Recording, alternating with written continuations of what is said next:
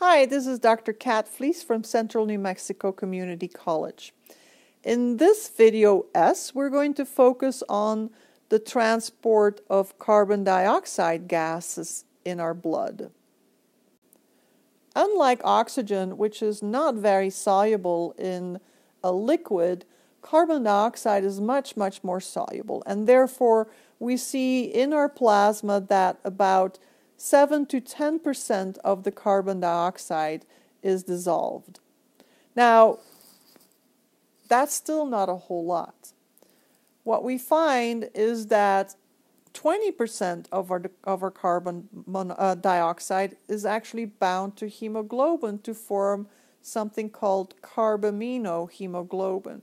So, a substantial amount of our carbon dioxide binds to one of the amines amino acids in our hemoglobin molecules. So it does not compete with the spot for oxygen, which is, of course, on the heme group. Carbon dioxide binds to an amino acid.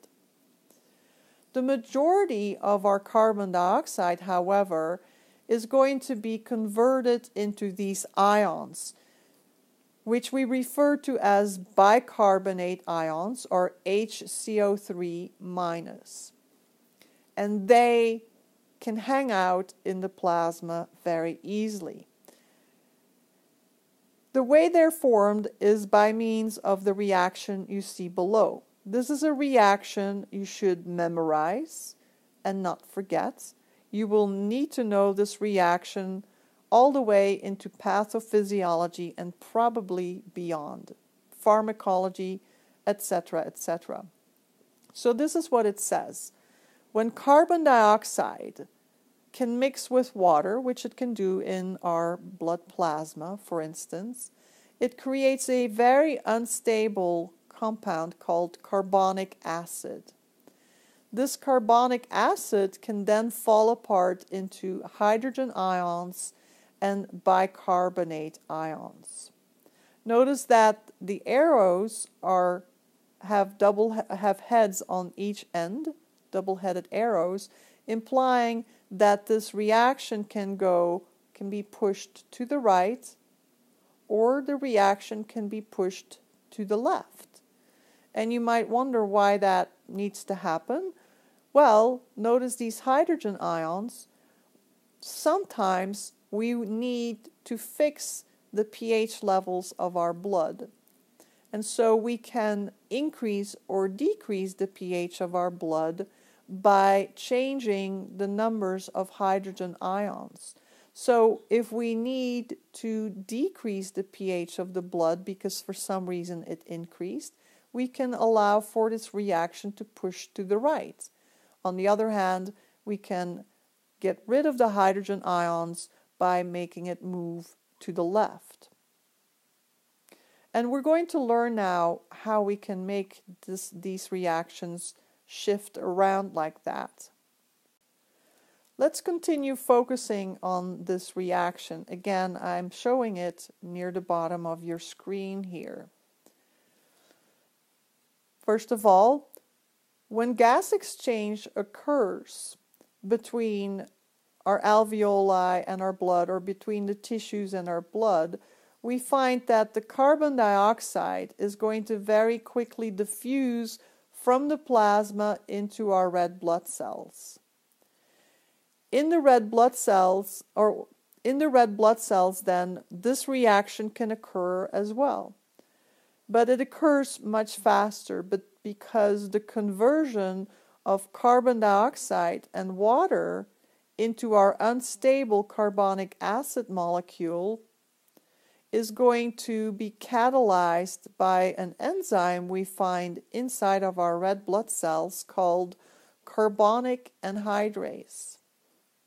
This is an enzyme we only find in our red blood cells and not in the plasma.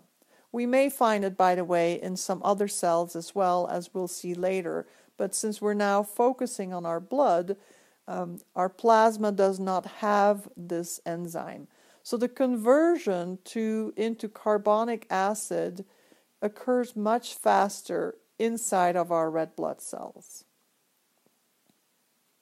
By the way, Since most of our carbon dioxide diffuses almost immediately from the plasma into our red blood cells to then participate in this reaction, pre- prevents the pH from changing too much in our blood.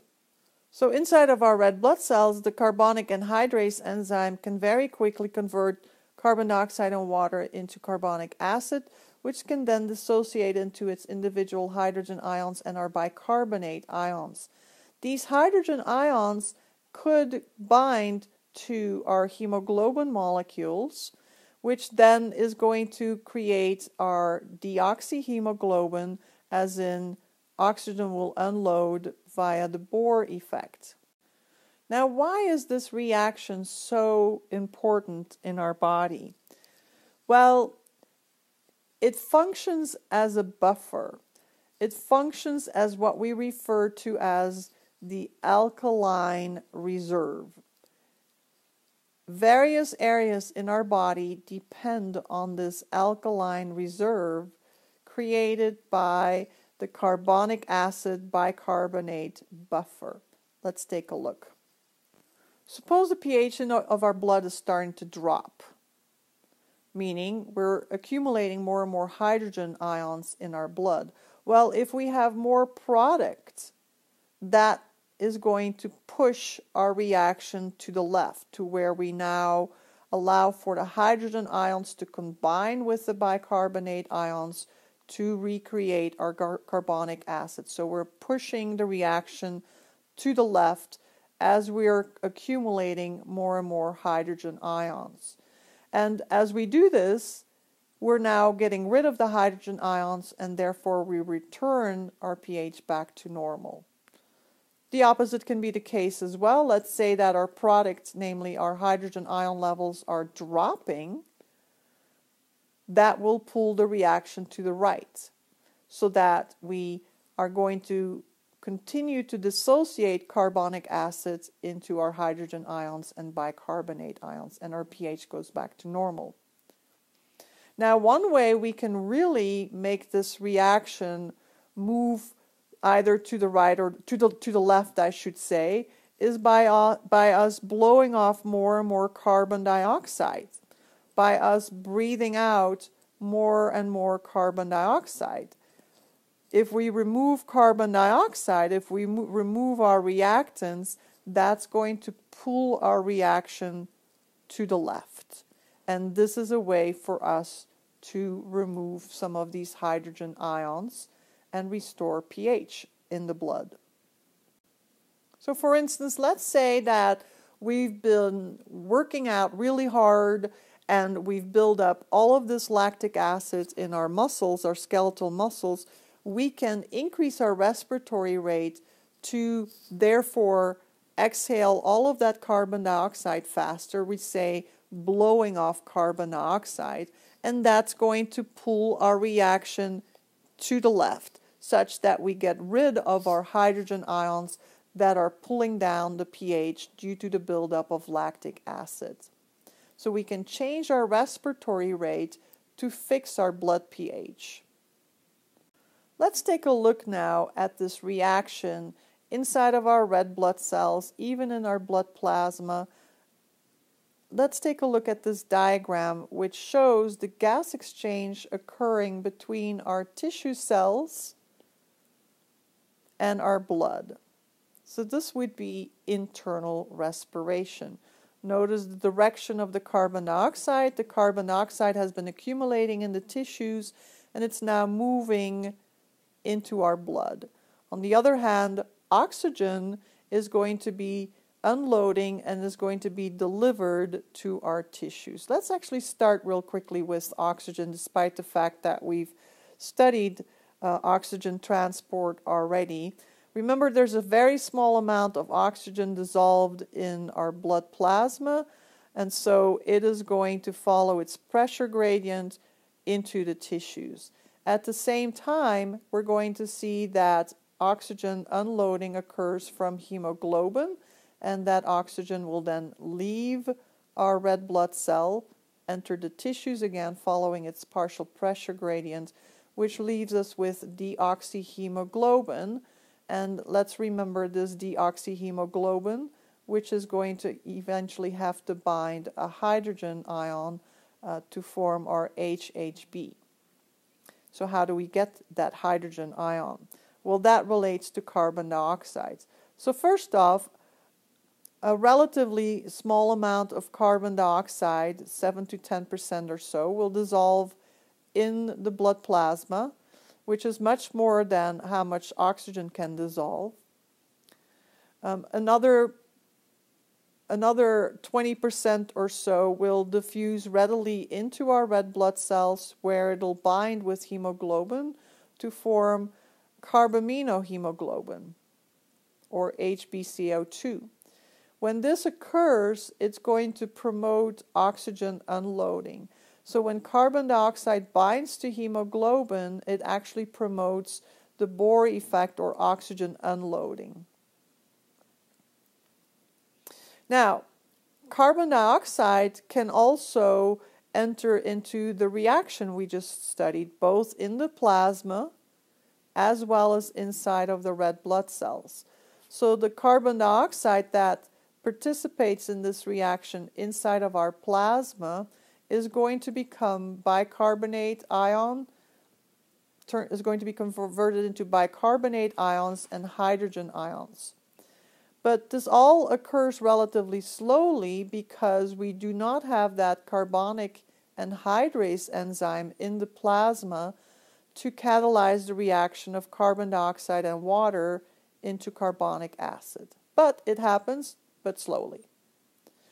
These hydrogen ions that result from this reaction will try to bind with plasma proteins in an attempt to not disturb the pH of the blood too much.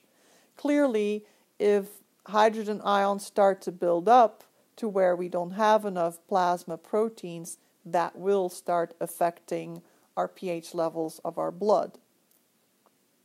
Most of our carbon dioxide will quickly diffuse into our blood. We already mentioned it can become um, part of hemoglobin, but the majority of our carbon dioxide that enters into our red blood cells again takes part in our famous reaction.